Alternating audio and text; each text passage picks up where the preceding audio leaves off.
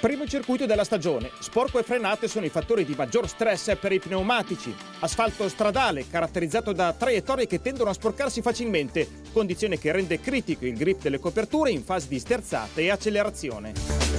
Curva 2, staccata da 4,87 G con taglio di velocità di 200 km h in soli 108 metri. Condizione che richiede il massimo livello di aderenza longitudinale ai pneumatici.